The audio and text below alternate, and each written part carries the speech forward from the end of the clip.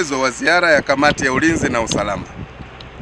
Ziara hii ina nia ya kukagua miradi katika jiji la Arusha na hasa ukaguzi wa miradi ambayo tunaona haiendi kwa kasi, na kamati ya ulinzi kupitia vikao vyake ilikubaliana kukagua ni miradi mikubwa hapa Arusha. Mradi wa kwanza ni huu ujenzi wa hospitali ya wilaya ya Arusha ambao unakaribia e, phase 1 ikikamilika tutatumia shilingi bilioni tatu na milioni mia tisa. Kwa hiyo mkandarasi yuko site, na baada ya ziara ya Mheshimiwa Waziri Mkuu alipita hapa, alitoa maagizo.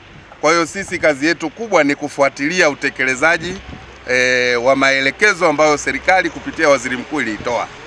Kwanza kukagua miradi mara kwa mara na kujionea changamoto ambazo zipo. Mradi huu kama nilivyosema, awamu ya kwanza itagharimu shilingi bilioni tatu nukta tisa na hapa tutakuwa na department nyingi, department ile ya ma, mapokezi ya wagonjwa wa nje, lakini pia masuala ya radiology, masuala ya MRI, vipimo vile vikubwa vikubwa, lakini pia e, wale watu wanaotaka kusafisha damu zao dialysis pia itakuwepo hapa. Kwa hiyo ni mradi pia, kuna huduma ya mama na mtoto.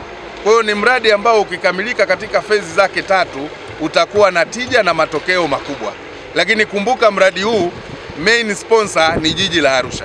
Tunataka mapato yetu ya ndani tunapoyaweka hapa tujivunie kwamba jiji la Arusha tumewekeza wenyewe na kupata sapoti ya serikali kuu kiasi fulani na kufanya mradi wa kihistoria wa namna hii.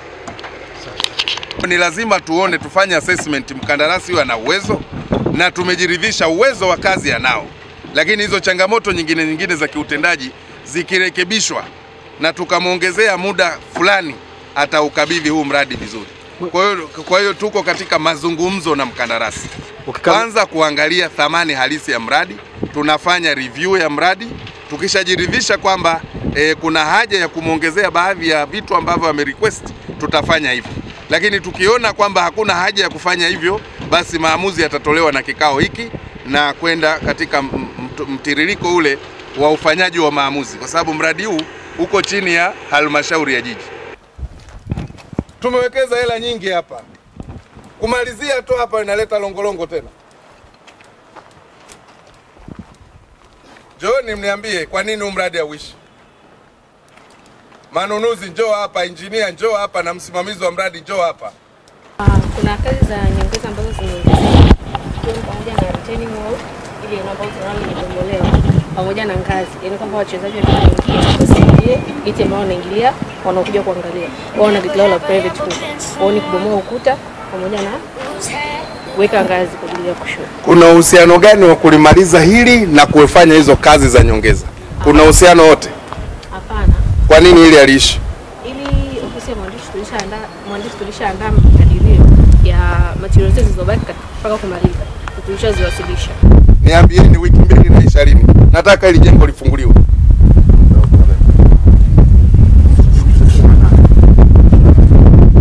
Tarehe 28 watakuja kuzindua hili jengo. Narudia, tarehe ishirini na nane nitamjulisha mkuu wa mkoa anafungua hili jengo.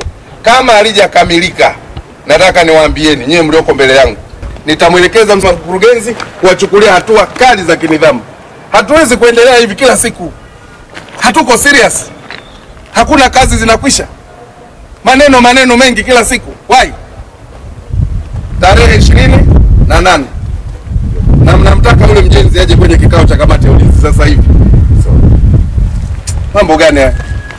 Yaani haupo hapa toka mwezi wa nane. Mimi nipo ila swala kazi Kuwepo huwa unakuwepo wapi? Nini maana ya kuwepo? nipo kwa ofisi kwa nasubiria material yaje Kwa hiyo wewe unakuja unakaa kwenye lile banda unaondoka. Kwa sababu sikiliza bwana, usinidanganye. Nishakuja hapa Sawa. na nimekuja hapa zaidi ya miezi mitatu na nimekuta haya akiwa hivi hivi, usinidanganye mimi. Tafsiri ya mkandarasi kuwepo site ni nini? Sasa nikikwambia haupo site ninakuwa nakosea?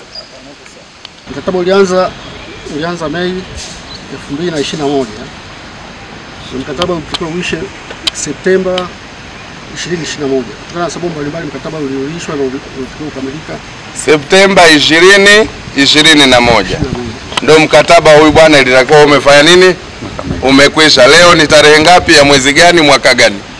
Leo ni tarehe kumi na nne mwezi wa tisa mwaka ishirini na ishirini na nne. Kutoka Septemba hadi leo zaidi ya mwaka umepita, kinachokwamisha huu mradi ni nini? Serikali kuu ilileta milioni mia saba kwa hiyo mia saba ikaisha.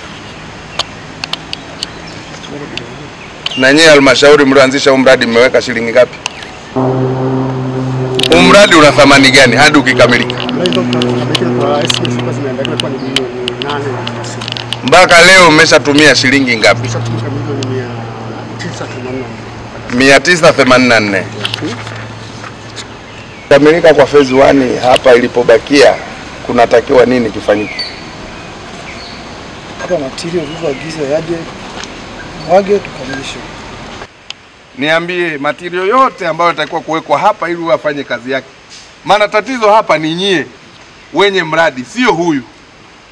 Maana huyu yuko tayari kujenga, hana matirio kwa ajili ya kujenga. Unaahidi kwamba siku kumi huu mradi utaanza mpaka mwisho wake ufike, na kazi ya kutangaza tenda mpya kwa mujibu wa procedure za vikao vya baraza la madiwani zitakuwa zinafuata. Mna uhakika? Tarehe 28 nimesema lile jengo mkuu wa mkoa ataenda kulizindua. Tarehe kumi hapa kamati ya ulinzi itakuja tena kushuhudia ndani ya hizo siku kumi kushuhudia activities zikiwa zinafanyika, na wallahi na hapa mbele ya Mola, endapo siku hiyo nafika hapa sikuti kinachoendelea, wewe mkandarasi kamata, wewe manunuzi kamata, wewe injinia atakukamata, na wewe mtu wa utumishi, hakuna atakayeachwa salama. Bora halmashauri ya jiji isiwe na mtu. Hatuwezi kumwangusha rais kwa namna hii, na mimi sijatumwa nije kuangalia vitu vya namna hii halafu nikae hapa na cheka cheka na nyinyi, haiwezekani. Huku ni kuniua mimi, kumuua mkuu wangu wa mkoa. Nyinyi mnajua mtahamishwa hapa, mtaenda halmashauri nyingine. Mimi nahamishwa hapa kwenda wapi? Si mnarudishwa TAMISEMI mkisha misbehave, mkuu wa wilaya anarudishwa wapi? Nyumbani. Anarudishwa nyumbani. Siko tayari kwenda kulima sasa. Siku kumi tunakuja hapa. Ah, twendeni kwenye kikao, bado tuna leo na nyie tu. Hii ni Arusha Kondo Hotel, hoteli ya kisasa iliyopo Kaloleni katikati ya jiji la Arusha. Mwonekano wake ni wa meli iliyobeba kila kitu. Namba moja, kuna maduka ya biashara. Namba mbili, ofisi za taasisi mbalimbali. Na namba tatu, ndo hoteli yenyewe sasa. Hapa utahudumiwa na wahudumu nadhifu wenye taaluma na kazi yao. Kwa ajili ya usalama, milango yote inafunguliwa kwa kadi maalum zinazotumia umeme. Ukiwa ndani ya hoteli, unaweza kuona mji wa Arusha vizuri na kupata upepo mwanana kutoka katika vilima vya mlima Meru. Kuna sehemu tulivu kwa ajili ya kupata chakula kizuri kilichopikwa hapa kutokana na oda yako. Arusha Kondo Hoteli inakukaribisha kuja kupumzika hapa. Kwa mawasiliano zaidi, arusha Condo hotel at gmail gmail.com, simu 0747 705 090 na 0676 705 090.